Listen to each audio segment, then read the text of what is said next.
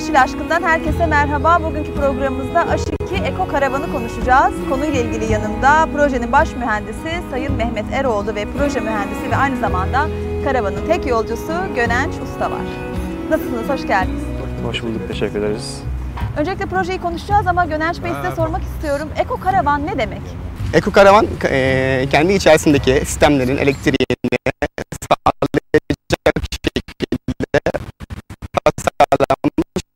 evdir. Peki bize Eko Karavan projesini anlatır mısınız? Eko Karavan kendi enerjisini şebekeden bağımsız olarak üretebilen bir sistemdir. Kendi enerjisini güneş ve rüzgardan üretiyor, doğal kaynaklardan. Tamamen şebekeden bağımsızdır. İçeride normal bir insanın hayatını sürdürebileceği ekipmanlar bulunmaktadır. Bunlar nedir mesela? Klima, televizyon, bilgisayar, buzdolabı ve bunun gibi bütün elektrikli alet, aletleri çalıştırabilirsiniz. Bunun dışında hidrojen ekipmanları da var. Hidrojen ekipmanlarında bir kısmını istediğimiz zaman içerideki otomatik kontrol sistemleriyle elektriğe çevirebiliyoruz. İstediğimiz zaman da ocakta yakabiliyoruz. Yani bu durumda hem elektrikten hem de gazdan bağımsızız. Hidrojen enerjisini nasıl elde ediyorsunuz? Hidrojen enerjisini saf suyu ayrıştırarak. İçeride saf su üretim cihazımız da var. Karavan içerisinde saf su üretim cihazımız var. Aynı zamanda bu saf su üretim cihazı içme suyu e, üretimini de sağlıyor bizim için. Yani hem içme suyunu hem de hidrojen, yakıt olarak hidrojeni e, te- kendimiz içeride elde ediyoruz. Evet peki abi bu projeye nasıl başladınız ve niye böyle bir proje yapmak istediniz? Niye bir Eko Karavan e, yaptınız? Öncelikle o zaman kendimizi tanıtalım. Biz Birleşmiş Milletler Hidrojen Enerjileri Araştırma Merkezi'yiz. Bizim asıl amacımız gelişmekte olan ülkelere hidrojen enerjilerini tanıtmaktır. Hidrojenin yanında eee tabii temiz enerjileri tanıtıyoruz. Rüzgar ve güneş gibi. İleride gelişmiş ülkeler bu teknolojileri elde ettiğinde gelişmekte olan ülkeler de bu teknolojilere yetişsin diye. Geride kalmayalım diye. Bunun için kamuyla, sanayicilerle, halkla, üniversitelerle işbirliği yaparak demonstrasyon projeleri yapıyoruz. Bunlardan birisi de Eko Karavan projesidir.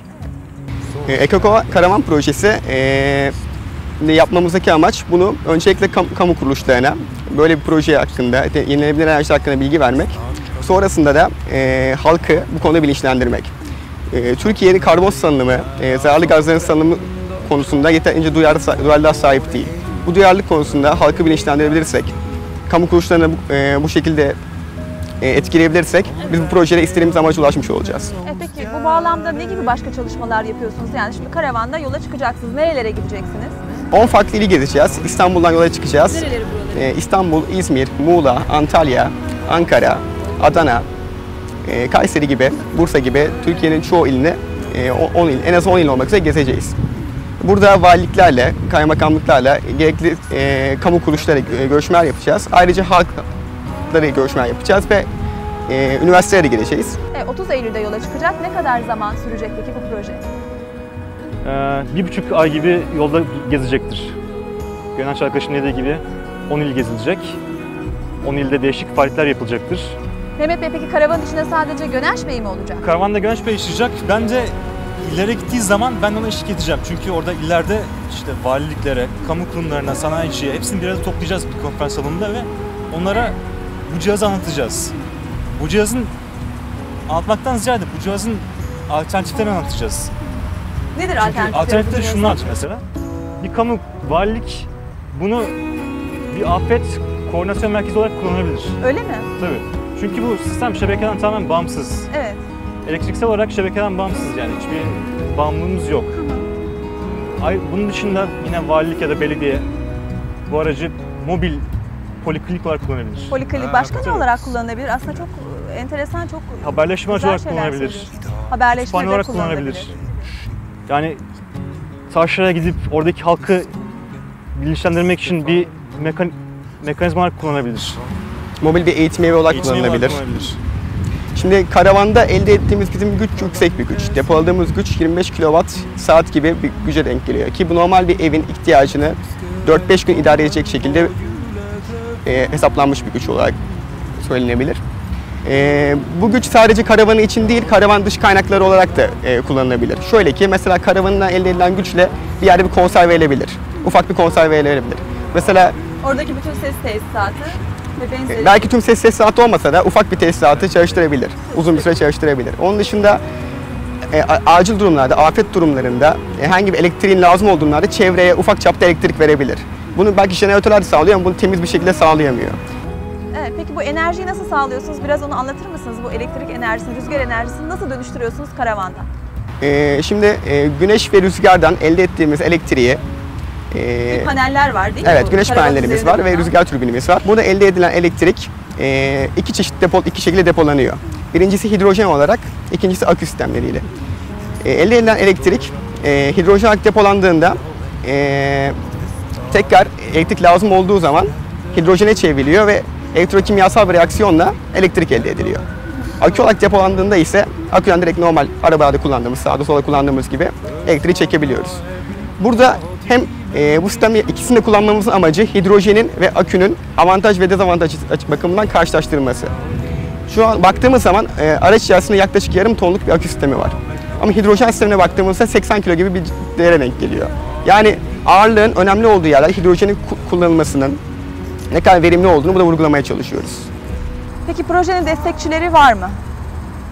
İlk olarak yani bizim eee yani Yundo İÇET'in Birleşmiş Milletler Hidrojen Enerji, Enerjileri Merkezi'nin büyük bir desteği var tabii sermaye olarak ve emek olarak.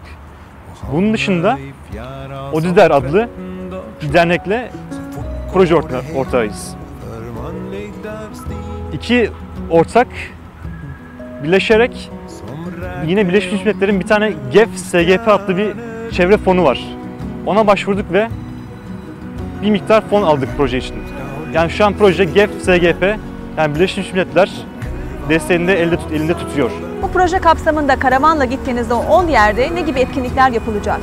Valilikler, sanayi, sanayiciler, üniversiteler çağrılacak ve sunum yapılacaktır. Evet, onlara bir sunum yapılacak. Bunların dışında halkı da halkın ilgisine çekmek istiyoruz. Ziyarete açık mı peki karavan? Tabii ziyaret açık olacak. Valinin izin verdiği bir yerde karavanı çekeceğiz ve halka tanıtım da yapacağız. Tabii boş bir tanıtım olmayacak. Bu değişik etkinliklerde düşünüyoruz. Aynı zamanda bu projeyi görüntülüyorsunuz değil mi? Görüntülüyoruz bir yandan evet. Hem görüntülü hem de ya- ya- e, yazılı olarak bunu yayınlayacağız. Yani bir blog sayfası oluşturduk. Bir blog sayfanız Evet, var. blog sayfasında Hangi e, sayfa bu? e, İsmini de verelim. h2ekokaravan.org Evet. E, bu sayfada e, yapacağımız etkinlikler hakkında, karavan gideceği yerler hakkında, karavanın şu anki durumu hakkında, üretim aşamaları hakkında ve karavanla ilgili yapılacak tüm etkinlikler hakkında bilgiler verilecek. E, bu yakıtı peki nasıl çözümlüyorsunuz? Yakıt işlerini. Kullanılan bir Yakıtını da kendi mi üretiyor karavan? onu kendi üretmiyor. Evet. Onu da şey yapıyor, e, karavanın şu anda kullanılan enerjisi normal dizel yakıt. Evet, dizel yakıt. Ama projenin bir sonraki ayağında Evet. yapabilirsek bunu hidrojenle yapmayı düşünüyoruz. Hidrojen kullanarak aracı hareket ettirebilecek misiniz peki? Bunu- Böyle bir şey mümkün mü? Projenin bir sonraki ayağını gerçekleştirebilirsek bu sefer aracı hidrojenle çalıştırmayı düşünüyoruz. Bu tabii ki doğaya hiçbir şekilde zarar vermeyen bir yakıt cinsi öyle değil mi? Yani özellikle hidrojenin doğaya hiçbir şekilde zararı yok. Hidrojenin zaten yan, yanması reaksiyon sonucu ortaya sadece su açığa çıkıyor.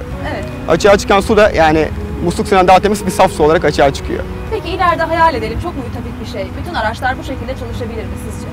Zaten bunun üzerine yapılan çalışmalar var. Şu anda eee, bunun önünde bazı engeller var. Eee, bu engeller aşıldığı takdirde ve seri üretime geçildiği takdirde bu proje hayata geçecektir. Yani ne gibi engeller var? Yani şu anda işte seri üretim gibi bir durum söz konusu değil. Eee, petrol fiyatları hidrojene göre şu anda daha ucuza geliyor. Evet. Ama zamanla maliyetler değişeceği zaman hidrojen hidrojenin önü açılacaktır. arttıkça. Talep arttıkça hidrojenin önü açılacaktır. Pekala çok teşekkür ediyorum. Başarılar diliyorum bu projede. Teşekkür ederiz. Çok sağ olun.